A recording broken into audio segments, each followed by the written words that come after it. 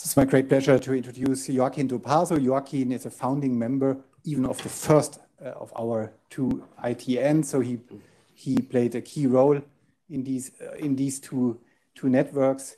Uh, I mean, it's almost unnecessary to introduce him. He's a, a thought leader and a prom prominent person in in bioinformatics.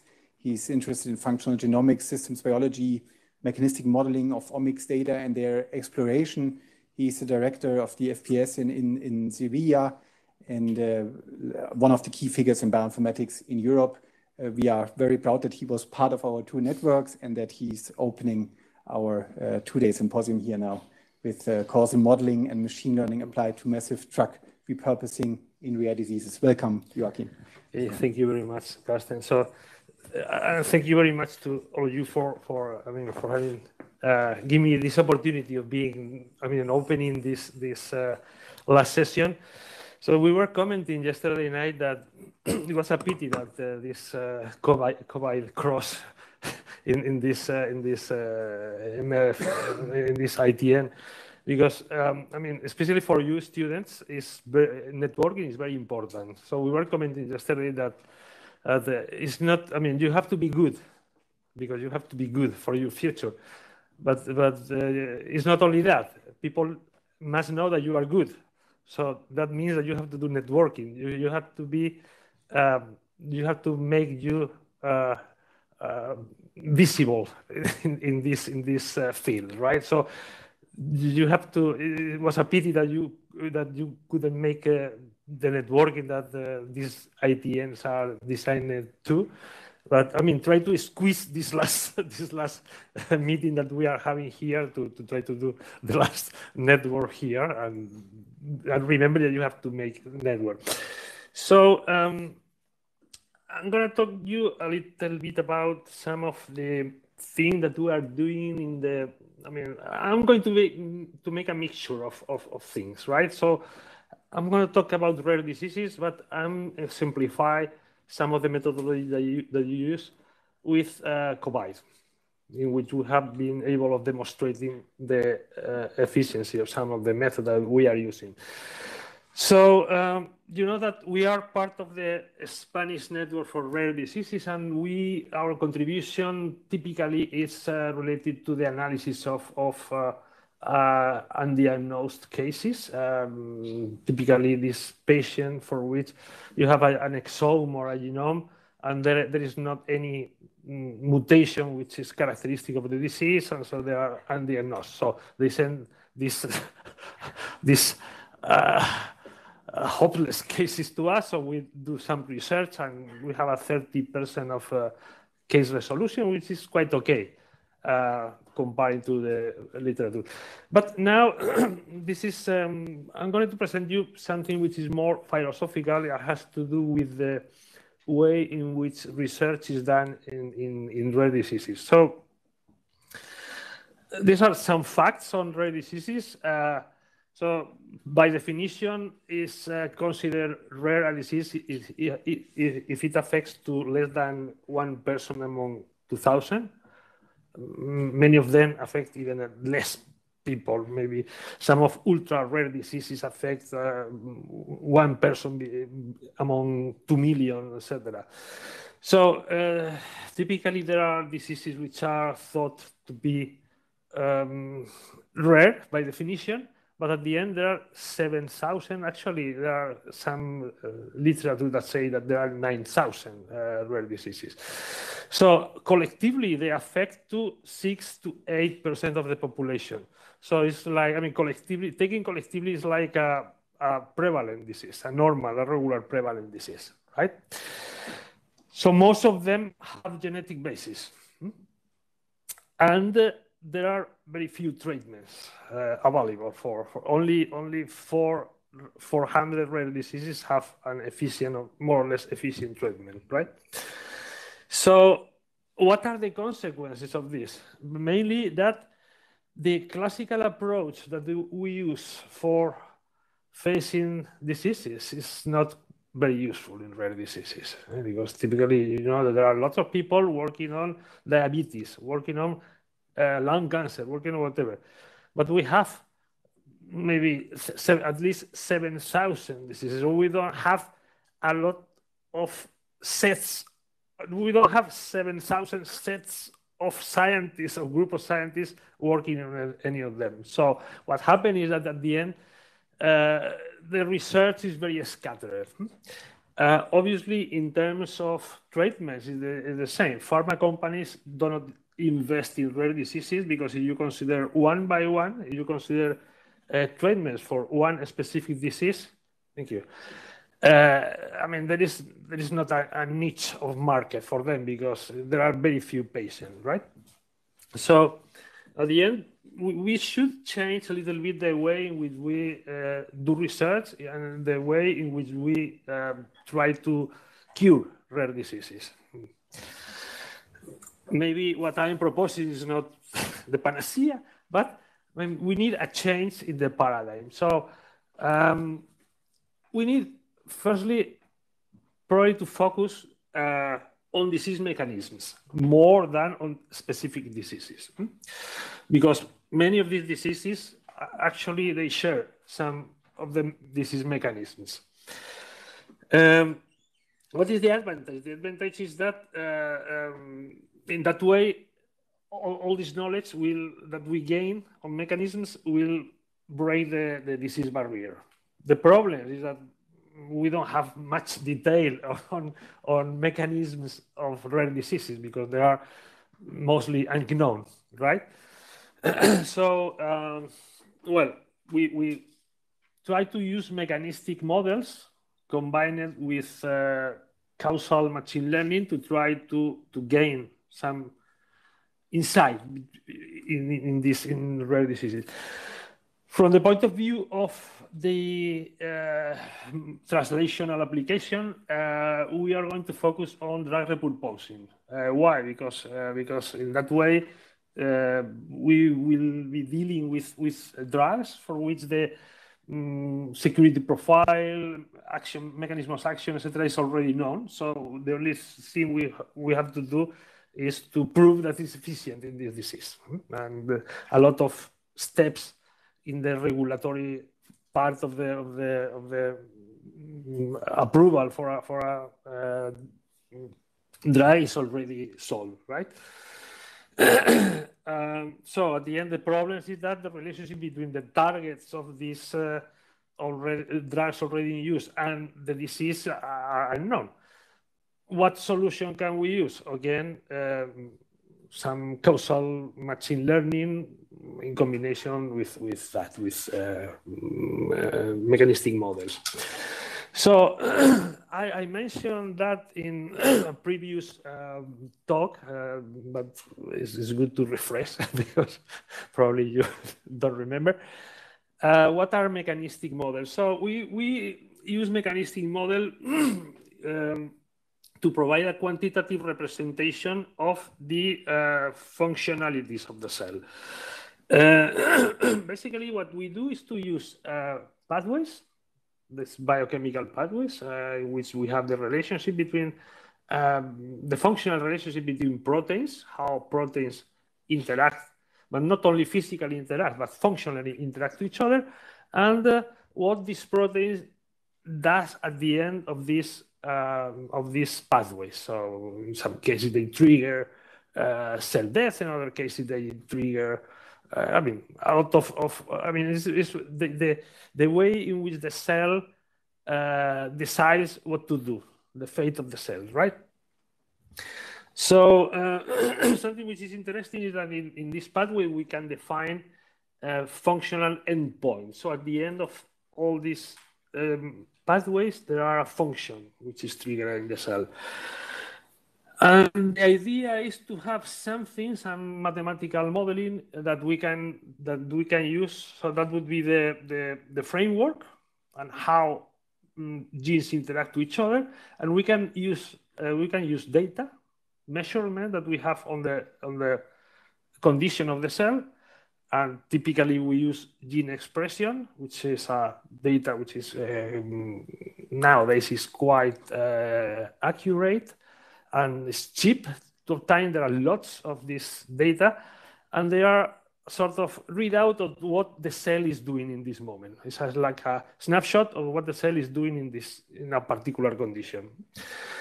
So that would be a very simplified uh, picture how one of these models works. So this would be the pathway, a toy pathway, which you have an interaction between some proteins on the left that uh, receive some uh, input, some uh, uh, signal or whatever, and uh, they communicate to each other like in a circuit, and finally they trigger a function.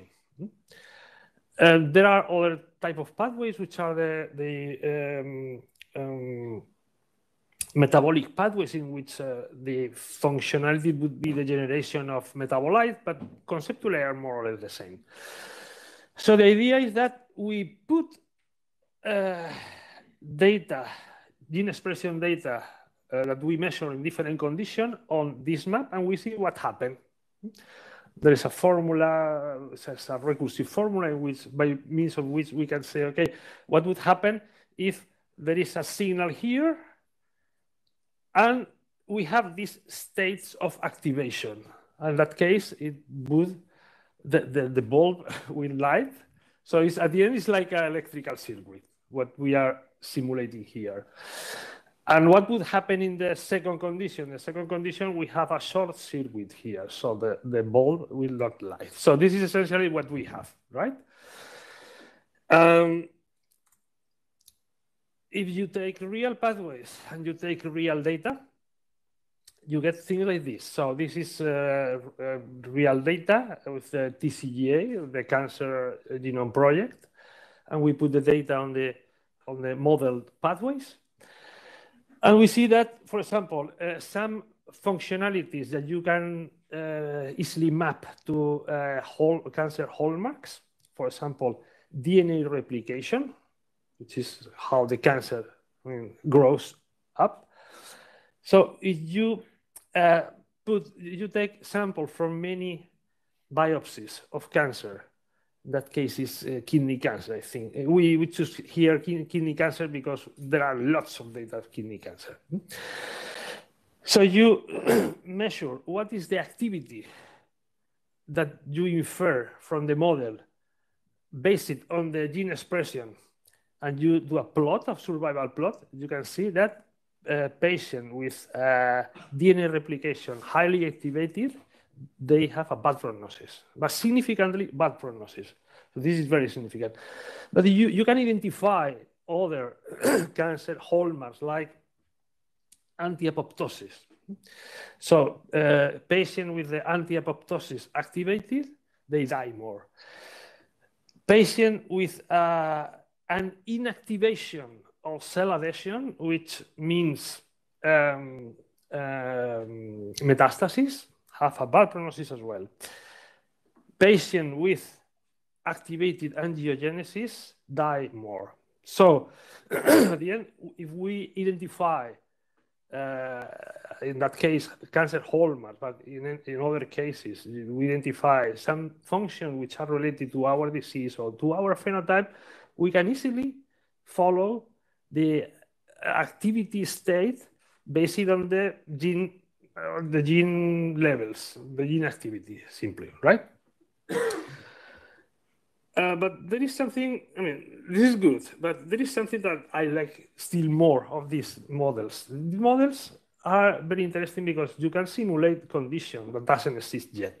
So you can take a condition and you can simulate a new condition in which you knock out a gene, for example, and compare and say, okay, what is the difference because, between the previous condition and the condition with the knockout and see what happens. So you can sort of forecast what would happen in different situations. You can simulate, for example, the, the activity of drugs or whatever you can imagine.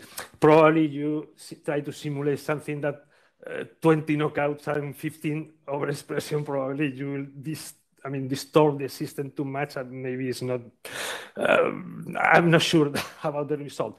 But for just one or two knockouts, it could be interesting. So at the end, what you do is to take the first condition and to do knockouts. How do you do a knockout here?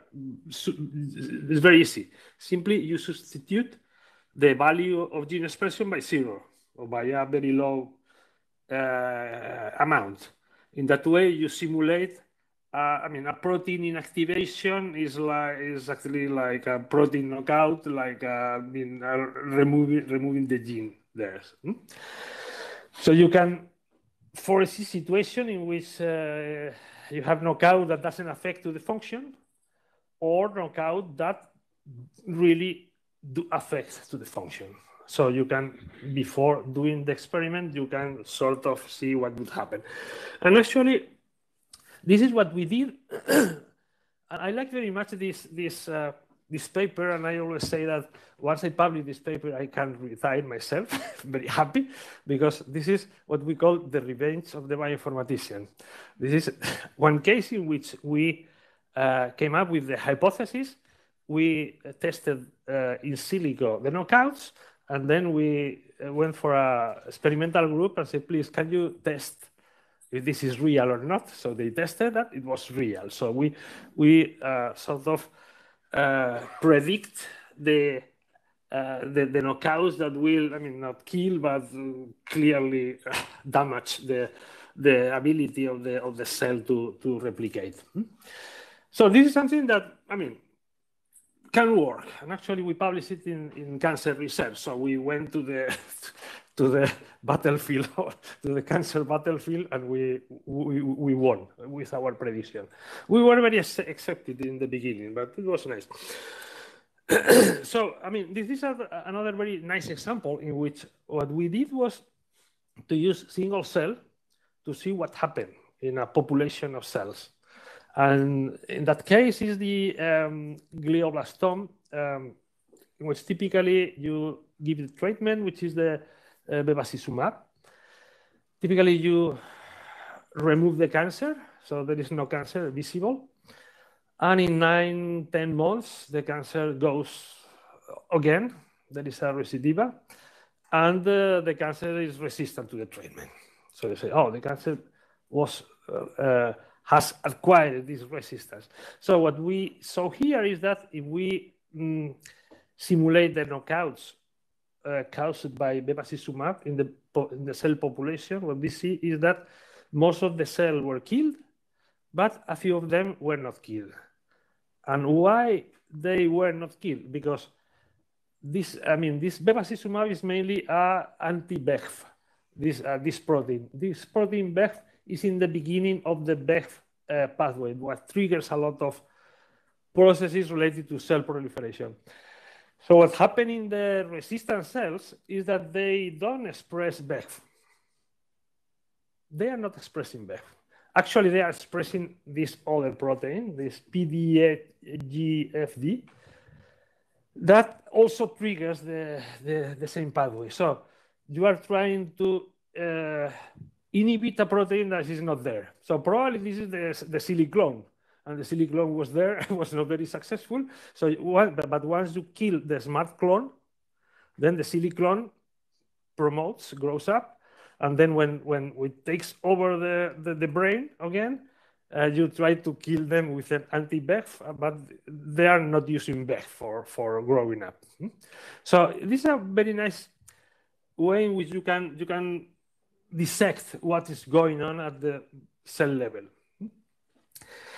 So, uh, yeah, but what's the problem with this approach? The problem with this approach is that, that we rely on uh, these circuits that are drawn by in the in the pathways.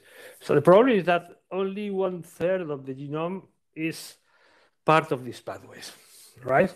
So um, two thirds of the genome, if, if they are relevant for the disease, we cannot include them in the model. It's, it's a pity. Um, well, I, I, must say that this, this very nice cartoon was made by Cankut Çubuk, who was a, our student from the previous uh, ITN, ITN network, and I use it very, very much. So the, uh, we have this problem. We have this problem with, uh, we need a lot, for, for, this modeling, you need a lot of, of uh, information, biological information we don't have for, for most of the genes.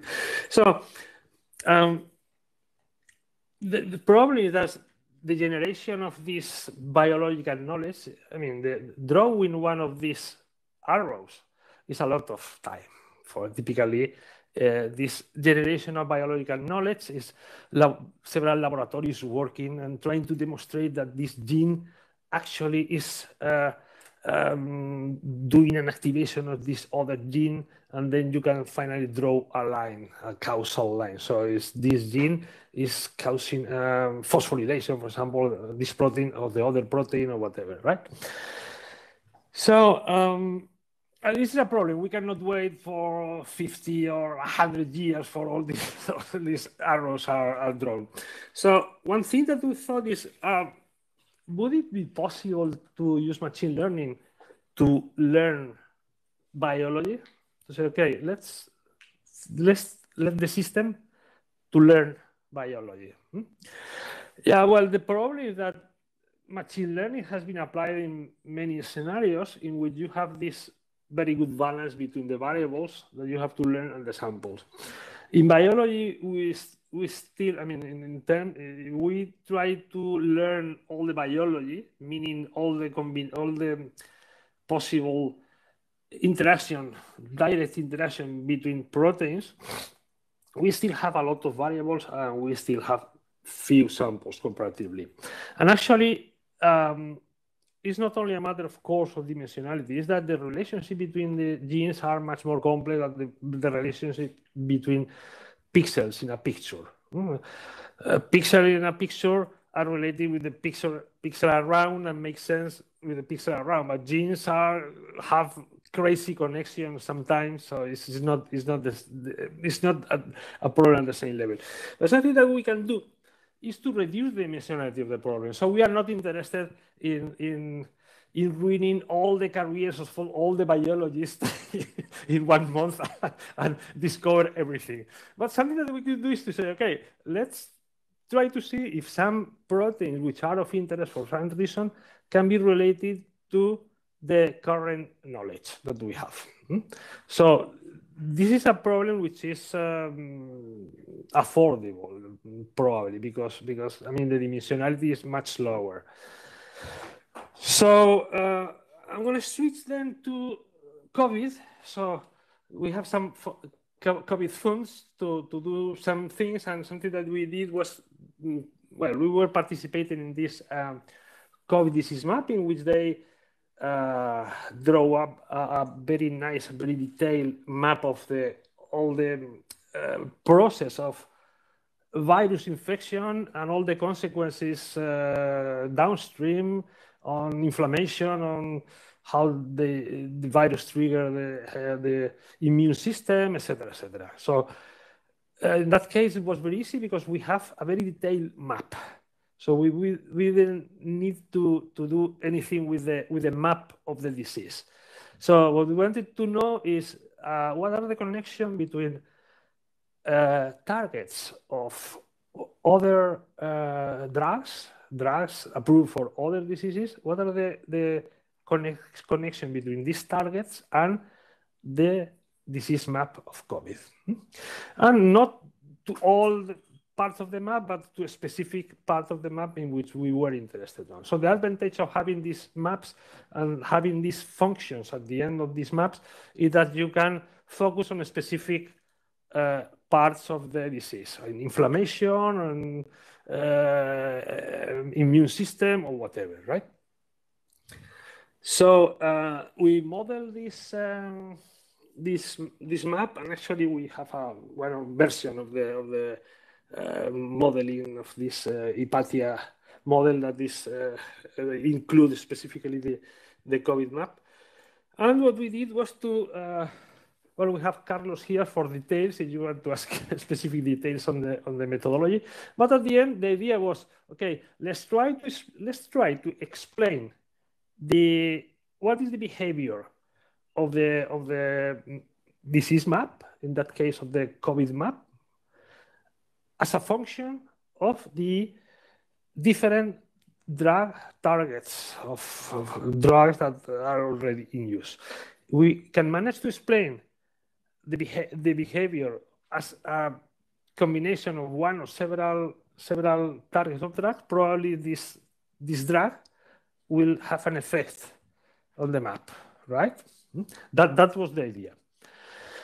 So we use uh, mm, this uh, SHAP, uh, additive explanation to try to look for the specific relevances of specific um, variables, in that case, uh, drug uh, targets. And uh, well, we, we draw some some maps of uh, activity of this uh, this uh, drug target. So we found different situations. For example, this is the famous chloroquine. The famous chloroquine acts on the map but acts absolutely on all the map and many other parts. So, I mean, it's like if you, I mean, uh, probably burning a cell is very efficient, but uh, but it burns to you as well. So it's not. I mean, it's efficient for co combating the disease, but also to combat the the the the, the, the patient. So. So I mean, we were focusing in specific uh, in, dr in drugs which were more specific of, of uh, certain processes, and uh, I mean, we managed to to, to produce a list of, of uh, drugs. And by this time, uh, we saw that uh, in a publication that they did um, on, a review on, on trials that were for, for testing treatments and prevention of COVID. Uh, all the drugs that were in, in trial for, for COVID who has um, known target because there were drugs which were I mean, there were treatments that were more specific, like gas inhalation or whatever. So in that case, we, we don't know what is the target. But for these drugs uh, that a target was known, uh, all the drugs that were there were predicted by the method. Okay, I mean, that, that could be good, but we wanted to, to have a, a stronger proof. So we use this, um, this database that we have in Andalusia, Andalusia is a is um is this I mean you know is the south of Spain is a, a large region is the largest region in Spain and actually the third largest region in Europe. It has a population of 8.5 million, so it's I mean it's the same size of uh, Switzerland or Austria. I mean it's like a, a medium uh, sized country in Europe. So we have an, an advantage is that the, all the uh, health system is uh, digitalized and all the health system uh, dumps the data into a large database and these data are um, put in a way that can be, I mean, mm, queries. So there are structured data. Hmm? We have also unstructured data, but we have lots of structured data. So we have here 13 million people. So probably, if not the biggest, is one of the biggest database with uh, detailed clinical information that we have. So uh, something that we did was to to look for patients here for COVID patients for the first wave. I mean, we started that in the for the first wave. So we have uh, in the range of 17,000 patients and some of these patients have received uh, another treatment for other reasons, mm, the vitamin, um, whatever. I mean, other treatments because they were having this treatment. They, they were infected, and we compare what happened with this patient that were having this treatment with, with patients that they were not having this treatment, uh, taking into account all the uh, covariables, right? Actually, we managed to to make a very nice circuit uh, because I mean you know that accessing clinical information is um, is not easy. In general, it's not easy because I mean it's protected. Uh, I mean, um, I mean, obviously it has to be protected. Nobody wants to have their own life exposed. I mean, I understand that, but at, at the same time, it's it's a problem for for doing a lot of studies, right? So what we managed to do is say, well, what, what is the problem? The problem is extracting the data from the health system. Okay, what if we don't extract the data from the health system? So we managed to put some computing facilities within the health system, and we can then analyze the data within the health system. We say, oh, that's that's okay. That we are happy with this. So we set up this circuit in which uh, uh, essentially mm, we propose um, whatever a study. We pass through the ethical committee. We then uh, write the, the this sheet of uh, evaluation of impact in data protection and then they, since there, are, there is no impact in data protection and have the approval of the ethics committee, so they provide us with the data, we can do the analysis. And the only thing that we make public are the results, right?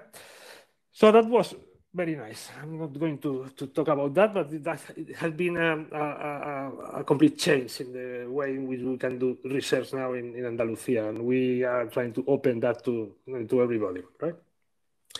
So finally, what we saw is that uh, there were uh, 21 treatments that were highly effective. So they protect clearly the patients. And actually, there is one who is very bad, it is counterproductive, right? And actually, for most of them, we since we have also uh, data on analytics, so we can follow the, for example, the, the lymphocyte counts, and we say we see how for this patient also the lymphocyte counts uh, was compatible with a, uh, mean, with an improvement of the, the health, right? So, uh, interesting thing is that we have an enrichment of uh, of the, I mean, among this data, we have a lot of prediction. Not all of them. Actually, for example, we we didn't predict the the first one was was not predicted, but the second one was predicted. So I mean, that's for me. This is this is the definitive proof that actually the prediction were, I mean, relatively good because most uh, there is an enrichment here statistically uh, uh, that uh, uh, of predictions that we made uh, with using the model. Hmm? So if we then know that this model is good, we are in a situation in which we, I mean, this is, this is very nice because we have made all, all the road from the of scientific discovery, all the scientific method proposed by Galileo Galilei, in which you have to formulate the hypothesis, do experiments, and check if the experiments fit to, to the to the the observation fit to the to the hypothesis. We can do that without doing an experiment. Why? Because there are lots of data available. Hmm? So we can do everything without doing a new experiment. I mean, it doesn't mean that that experiments are useless because these data were obtained by previous experiment. But what I mean is that we have now so many data produced by experiment that in many cases you have the data already there, hmm? which is very important. So just for finishing, uh, we apply this. Uh, we are applying this concept to the to rare diseases, and with the idea of of trying to say, okay, um, instead of of uh, focusing on diseases one at a time, we are going to focus on diseases as a um, particularity of the whole uh, cellular uh, mechanism and say, okay, these diseases are characterized by mutation in these three genes. These three genes are in this part of the pathway. So we have a representation, a small representation, not complete, but a small representation of the disease map of this disease. Maybe we have missing parts, but at least we have a part of the disease. And then we have, uh, it was a little bit more than 150 rare diseases, which has mutation within the known pathway. So we managed to make this, uh, I mean, like, I mean, treating all the diseases like uh, a part of the of the of the cell behavior. So, okay, this disease is here, this disease is here, this disease is here. I think we have here. I will show you another uh, slide later. So I'm running out of time, or almost. You have ten minutes. Okay. Okay. Okay. No, I'm, I'm almost finishing. So, um, so the idea is then do something similar to this, and let me show you the, what I mentioned before, using gene expression data and trying to learn if any specific uh, um, disease map can be explained by the combination of, of uh, target of other drugs. And the idea is to make this uh, systematically. So we have we have the, the whole map, and we map disease by disease the genes in part of the map, and we build up these small partial maps of the disease, and we try to see what drugs could be acting there. It's not perfect, but it's something that can be do, done systematically, and you can solve uh, in one shot. Uh, you can propose a lot of treatment for a lot of diseases. Mm? So the idea is we, we, we have the genes, the general, I mean, the, the, the current knowledge.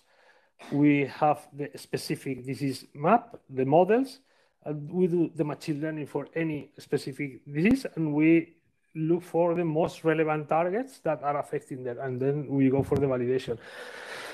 Uh, interestingly, you have a look at the. Oh, sorry. Uh, when you do this, I mean, this clustering, etc., etc., you see that there are different subclusters. So at the end, uh, with the diseases, at the end, um, mm, as we uh, suspected, many rare diseases at the end there are they are sharing uh, mechanisms. So probably drugs are can be used for more than one uh, rare disease. So we have, I mean, a couple of, of validations. So this uh, was published a couple of years ago. Was two treatments that, that we uh, uh, predict for uh, Fanconi anemia were validated experimentally, and now there are uh, systematic validation of other treatment that we propose for retinitis pigmentosa. And we are working since we are working uh, with uh, people in the in the um, Spanish network for rare diseases. We are in collaboration with several groups that are doing the specific uh, validation. So it will take time, but at the end, what we provide them is with with some drugs instead of trying to see what would be the drug. So there are, there is a list of, of potential candidates that they can use to to start with. Uh, well, this is uh, I'm finishing. Yeah, this is a bit of publicity. So we have some software that you can that you can use if you want to use the models. And this is uh, the people and the, our uh, supporters. And let me just uh, show you this last slide, the, the Baeza workshop that, uh, uh, well, I mean, this is the list of people, some of uh, so, um, for example, um, Antonio is there so it's going to participate, and some of you uh, are attending. And this is another place in which you can do uh, networking, which is important. so thank you very much. And if you have a question, I will be happy of taking them. Thank you. Thank you, Joaquin. Are there questions from the audience? Giovanni. Thank you for these very interesting talks. I have a couple uh, questions on uh, the whole talk. Um, one of them is on these explanation methods like SHAP. Um, I'm a bit familiar with. The problem is that often these post-hoc methods are a little bit unreliable or vulnerable to adversarial attacks or some other issues.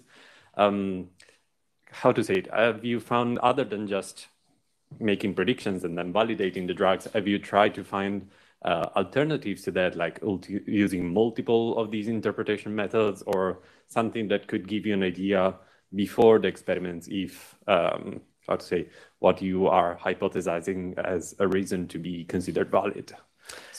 Yeah, well, I mean, apart from Carlos can give you a later a more detailed explanation uh, from the point of view of the focus uh, or why we focus first on, on SHAP is, uh, I mean, typically we, we go very fast. So we, we need to solve problems quickly.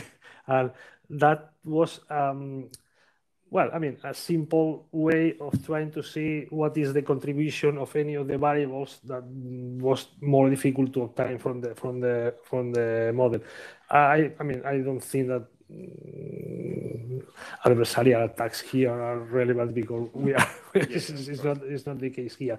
But it was it was um I mean, simply um, since we are doing a prediction based on predictions, etc., etc. so probably we are not going to be very, uh, you know, picky with with the methodology chosen. It was only uh, the necessity of trying to figure out what of these uh, variables was having a bigger or stronger effect on the on the pathways. Thank you. And a curiosity, if I can quickly, before somebody else asks a question, uh, you showed uh, that you used, for example, KEGG pathways. And a few times I've looked into them, and the thing is, they are a bit of a hodgepodge of genes and metabolites and maybe sub pathways how do you actually convert something so complicated to a relatively simple model like the ones you were showing? Yeah, well, I, I didn't mention that. So dealing with pathways is a nightmare because actually we are having problems of using KEGG pathways because you know that KEGG now has, has become uh, not private, but I mean, uh, you have to pay for rights or something. It's, it's, it's, a bit problematic. So the point with with KEGG is that um, they they have they are um, they, are these metabolites, but metabolites can be easily removed. But typically they are uh, I don't remember the name, but activity pathways, meaning that they have essentially proteins acting on other proteins.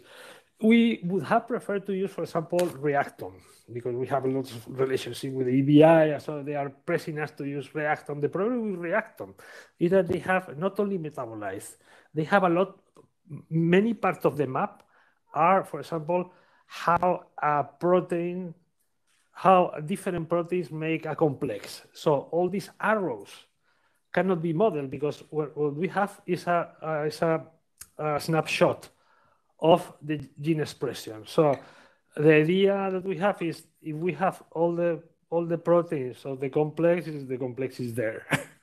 we, we need only one node with different proteins. But so it's very difficult for us to convert all these um, arrows that are not functional activities uh, in the map, but are other mm, representation of the biological knowledge to convert because something like 50% of the arrows in a Reactome are all this stuff. And this stuff can, I mean, it's not useful from the point of view that we want to use the map, that is to put uh, gene expression data and to see what happens, right? But it's a, it's a nightmare. You have to do a lot of, it's not as immediate as putting the, the, the map in the models. You have to do a lot of manual curation. Thank you. Other question here, Lucas. Okay, thank you very much, Joaquin, for, for being here and for the great presentation. And uh, I'll keep it short in the interest of time, but just two quick questions. The first is going back to these mechanistic models that you showed at the beginning. Is there any work on longitudinal, longitudinal aspects of these? like how the connectivity evolves over time during development, for example, of organisms. And the second is this huge database that you showed of healthcare uh, data in Andalusia. What's the prospect of actually, actually accessing that database? Thank you. Okay, I'm going to answer first the, the second one. Um, we have a, um, some instruction for, for using the, the, this data. So uh, so it's something very similar to what I draw there. So firstly, you have to uh, ask permission for the to the to the ethics committee. For most of the, I mean, if your if your uh, study is reasonable, you will get the permission for sure. And the second and most problematic step is to pass this evaluation of impact in data protection. So typically, you just uh, fill a, a, series of questions. So is the data uh, going out? If it's going out, how you um, um, guarantee that the data is not spread out. You mm, uh, you are not going to try to re-identify patients, etc., etc. So what happens is if you get out the data from the health system, you check one of the one of the most horrifying uh, checks and then you don't get the approval for for so what we did was to to set up that in a, in a way which uh, now is not perfect but it, it, works so you have to ask essentially you have to ask us to do the to do the job so what we are trying to do now is to habilitate a system by means of which uh, once you get the approval of the ethics committee you can access you, you can manage the data without having access to the data. Something like using a virtual uh, a virtual mon monitor, whatever, you you are you can do things, but you cannot copy the file outside. Uh, this is only a technical problem, and we are trying to see how to solve it. As soon as it is solved, probably uh, it will be more open to use because we want to, to I mean, to become uh, leaders in, you know, in exploitation of, of, of, clinical data. And the first question was, I don't remember, sorry, was that something the connectivity or what?